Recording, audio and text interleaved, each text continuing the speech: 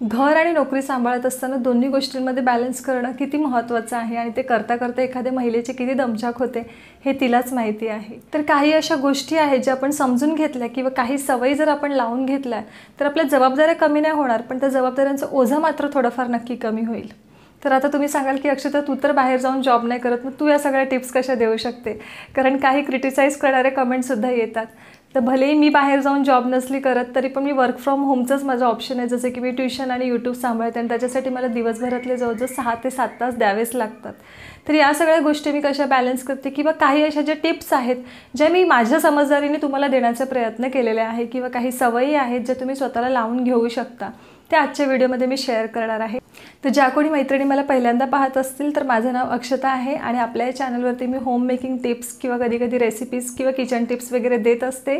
तर जर का तुम्ही चॅनलवरती नवीन असाल तर इतरही व्हिडिओज पहा आणि आवडले तर चॅनल सबस्क्राईब करायला विसरू नका. चला तर मग आजच्या व्हिडिओला लवकरच सुरुवात करूया. तर या व्हिडिओमध्ये सांगितलेल्या सर्व टिप्स प्रॅक्टिकल आहेत आणि तुमच्यापैकी बऱ्याच जणी ते फॉलोसुद्धा करत असतील. तर माझी पहिली टिप अशी आहे की तुम्ही जॉब करता म्हणजे तुम्ही फायनान्शियली इंडिपेंडेंट आहात. तर जर समजा तुम्हाला असं वाटत असेल की घरातल्या कामांचं खूप प्रेशर आहे आणि दोन्ही गोष्टी तुमच्याने हँडल होत नाही तर अशा परिस्थितीमध्ये तुम्ही कामवाल्या ताईंचीसुद्धा मदत घेऊ शकता. आणि ते जर समजा तुमच्याने शक्य नसेल तुम्हाला घरातली कामं स्वतः करायला आवडत असेल तर तुम्ही अशा काही अप्लायन्सेसमध्ये इन्व्हेस्ट करू शकता जेणेकरून तुमच्या कामाचं ओझं कमी होईल. जसं की आता लादी पुसण्यासाठी तुम्ही अशा प्रकारे मॉप वापरू शकता किंवा वॅक्यूम क्लीनर डिशवॉशर घेऊ शकता वॉशिंग मशीन या सर्व गोष्टी खरं तर थोड्याफार एक्सपेन्सिव्ह आहेत पण जर त्याची वन टाईम इन्व्हेस्टमेंट केली ना तर आपल्या कामामध्ये आपल्याला भरपूर मदत होते. माझी दुसरी टीप अशी आहे की मुलांना जितकं शक्य असेल तितकं रिस्पॉन्सिबल आणि इंडिपेंडेंट बनवण्याचा प्रयत्न करा. मुलं जर थोडीशी मोठी असतील तर त्यांना स्वयंपाकातल्या काही गोष्टी शिकवा. आणि मी आधीही तुम्हाला सांगितलं होतं की मुलगा असू दे किंवा मुलगी त्यांना स्वतःचं पोट भरता येईल इतका बेसिक स्वयंपाक जमलाच पाहिजे. मुलांना घरातल्या इतर छोट्या मोठ्या गोष्टीमध्ये नेहमी इन्वॉल्व करा. घरातील कामांमध्ये जसं की एखादा सोफा आवरणं स्वतःची जेवणाची जी प्लेट आहे ती स्वच्छ करून सिंकमध्ये ठेवणं शाळेतून आल्यानंतर टिफिन वॉटर बॉटल व्यवस्थित ठेवणं स्वतःच्या शाळेची बॅग पॅक करणं आंघोळ करायच्या अगोदर स्वतःचे कपडे घेणं किंवा काही अशा स्वच्छतेच्या सवयी ज्या मुलांना लहानपणापासूनच लावायला पाहिजे. शाळेचा किंवा ट्युशनचा होमवर्क वेळच्या वेळी करणं स्वतःच्या वह्या जबाबदारी स्वतः घेणं आणि या सर्व गोष्टींनी फक्त आपलीच कामं हलकी नाही होत तर मुलंसुद्धा लवकरच जबाबदार आणि मॅच्युअर होण्यास मदत होते.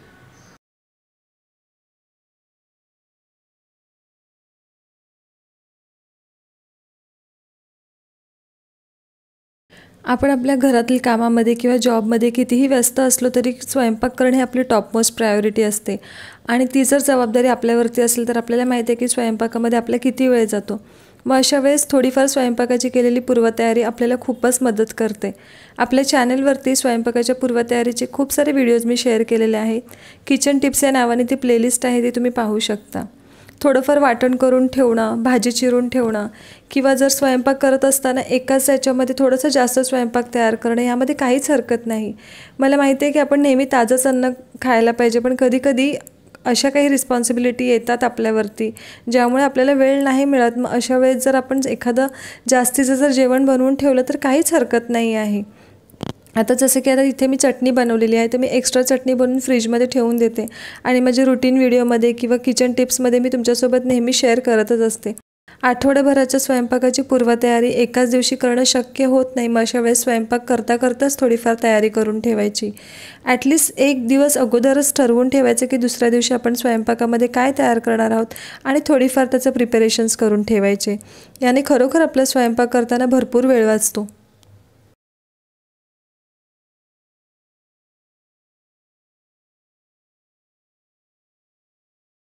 आपल्या समाजामध्ये प्रत्येक स्त्रीला सुपर वुमन म्हणा किंवा मल्टीटास्कर म्हणा एकाच वेळेस अनेक जबाबदाऱ्या सक्षमपणे सांभाळणारे म्हणा अशा अनेक उपमा दिलेल्या आहेत. आणि कधी कधी असं वाटतं की या उपमांचं कौतुक करण्यापेक्षा प्रेशर आपल्यावरती जास्त येतात. पण अशा परिस्थितीमध्ये आपण ही गोष्ट अजिबात विसरायला नाही पाहिजे की आपणसुद्धा एक माणूसच आहोत आणि आपलेसुद्धा काही लिमिटेशन्स आहेत. आपण twenty four by seven continuously काम नाही करू शकत. कधी ना कधी एक अशी वेळ येते की ज्यावेळेस आपण गिवअप करतो आणि आपल्याला जाणीव होते की हे माझ्याने नाही होणार अशा वेळेस घरातल्यांची मदत नेहमी मागा. कधी कधी काय असतं माहिती आहे की आपणच समोरून घरातल्या व्यक्तींची मदत मागत नाही म्हणून त्यांना असं वाटतं की आपल्याला मदतीची गरज नाही. मग ज्यावेळेस तुम्हाला माहिती आहे की एखादी गोष्ट माझ्याने शक्य होणार नाही आहे किंवा मला कोणाच्या तरी मदतीची गरज आहे तर नक्की मागा ते नक्कीच तुम्हाला मदत करतील.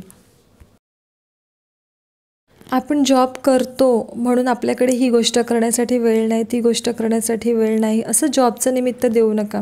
आपली जी जॉब आहे ना ती एक प्रकारे तुम्ही ब्लेसिंग माना कारण असं भरपूर स्त्रियांचं स्वप्न असतं की आपण बाहेर जाऊन जॉब करायला पाहिजे स्वतःच्या पायावरती उभं राहायला पाहिजे पण त्यांना तो चान्स मिळत नाही. मग जर समजा तुम्हाला तो चान्स मिळालेला आहे तर त्याचं तुम्ही सोनं करा. आपल्या जॉबला कधीच कोणतीही गोष्ट न करण्याचं कारण नका बनवू. योग्य प्रकारे नियोजन केलं टाईम मॅनेजमेंट केलं तर सगळ्या गोष्टी करणं शक्य आहे. फक्त एवढंच की आपल्याला थोडंसं लाईफमध्ये डिसिप्लिन राहणं महत्त्वाचं आहे. अशा कितीतरी बायका आहेत ज्या बाहेर जाऊन जॉब करतात घरातली सर्व कामं करतात आणि सोबत त्यांचे छंदसुद्धा जोपासतात. तर मलासुद्धा तुम्हाला हेच सांगणं आहे की आपण कितीही बिझी असलो ना तरी थोडा तरी टाईम स्वतःसाठी काढायचा.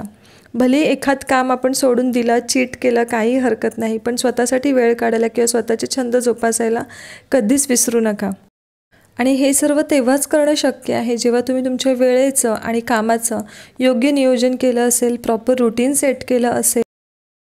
काही वेळेस असतं की आपल्याला प्रायोरिटीनुसार कामं ठरवायची असतात. कधी जॉबच्या ठिकाणी खूप महत्त्वाचं काम येतं. त्यावेळेस घरातली काही काम आपल्याला सोडून द्यायची असतात. त्यामध्ये काहीच हरकत नाही. एखादी होममेकर असेल तिच्यासारखं तुम्हाला भलेही घर टापटीप नसेल ठेवता येतं त्यामध्ये चुकीचं काहीच समजू नका. तुम्ही फक्त घर वरचेवर स्वच्छ ठेवता ही सुद्धा खूप महत्त्वाची गोष्ट आहे. भलेही एखादी होममेकर तिचं घर पंधरा दिवसांनी डीप क्लीन करत असेल नो प्रॉब्लेम तुम्ही एक महिन्यानंतर करा किंवा दीड महिन्यानंतर करा. पण स्वतःला कुठेही असं कमी समजू नका कारण तुम्हीसुद्धा जे करता ते एकदम बेस्टच आहे. आठवड्यातून एक वेळ स्वतःसाठी मुलांसाठी आपल्या फॅमिलीसाठी नक्की काढा. मी आधी सांगितलं जशी एक दोन कामं स्किप केली तरी काही हरकत नाही. सकाळी थोडंसं लवकर उठा आणि ॲटलिस्ट दहा ते पंधरा मिनटं तरी स्वतःसाठी वेळ द्या. प्राणायाम करा किंवा छोटे मोठे जे एक्सरसाइजेस असतात ते करा. काय खाता पिता त्याकडे लक्ष द्या. अल्टिमेटली सगळ्यात महत्त्वाची गोष्ट म्हणजे तुमची हेल्थ आहे आणि तुम्ही आहे. तुम्ही जर व्यवस्थित असाल तरच तुम्ही या सगळ्या जबाबदाऱ्या योग्य पद्धतीने पार पाडू शकाल.